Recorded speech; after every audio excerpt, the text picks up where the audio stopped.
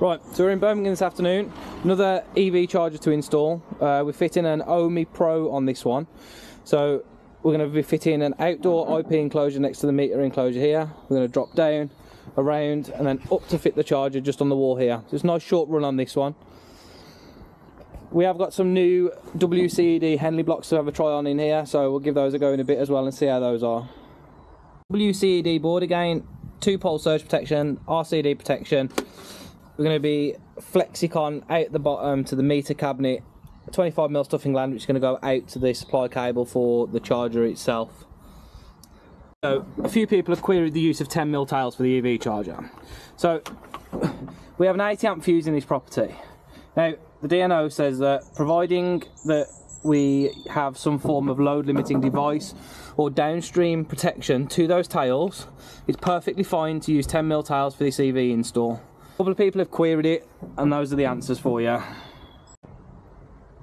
So we made a couple of little alterations from the last one.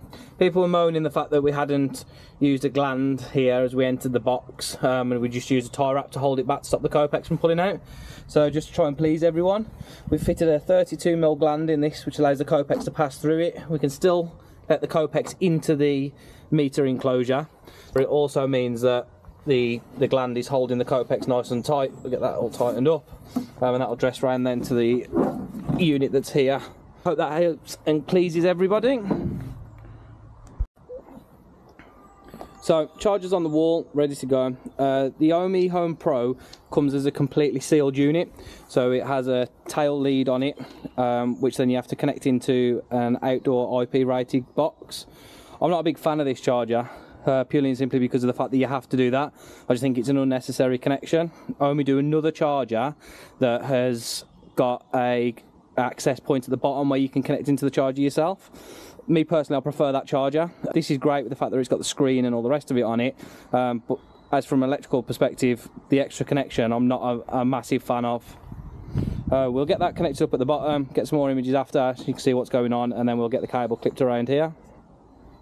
Charger cable's clipped all the way down the wall. We're looped into the bottom of a Wiska 607 box A couple of Wago 221s that are ready to go and then we're going to take our EV aux cable out the bottom of here around and then up to the little IP rated board that's just over there. Wiska box is all done and sorted. The EV Ultra is being clipped around the side of the building using Linear clips. We did try some D-line clips the other day but I really wasn't a fan of them. They didn't look as neat as this and using them with the spit gun wasn't great either if I'm honest. Um, WCD board's all done and finished. Um, so I'm going to lid that up in a minute once we've done a bit of testing. Um, we'll get into the meter box and get that sorted. We're going to be trying out some of the new WCED Henley blocks on this one. Um, they do them in green, brown, blue, and they also do black and grey for your three-phase stuff. What I do really like about these is they actually all click together.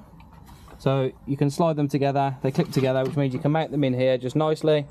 We'll get them mounted, connected up, these will take a 2.5 to 35 mil tail, um, and they're also uh, hex keys inside. I can get it to open. So they're nice and easy to connect up. Little sliders to pop out, so if ever you need to adapt them, you can quite easily. Yeah, so we go, see how they are. WCD Henley blocks, honestly, amazing. Cannot fault them. Really nice and simple to use. Um, connections are really good and open on them. Um, like I said before, I used to use the Proteus ones. These I think are so much better. I just love the fact that they click together. There's no issues with height. They all sit lovely and perfectly. Yeah, can't fault them. Charger's all finished off, powered up, tested, sorted. Gentleman's just going to pull his car over so we can test it on the vehicle to make sure everything's working fine. Everything's all dressed in nice and neatly. Outdoor consumer unit, it's all labelled up, done and sorted. Still can't get over how great these Henley blocks are. I'm really, really impressed with them. Connections are all done. Stuffing gland in the bottom of the meter just to make sure everybody's happy. All done, all sorted. Hopefully see you on another one.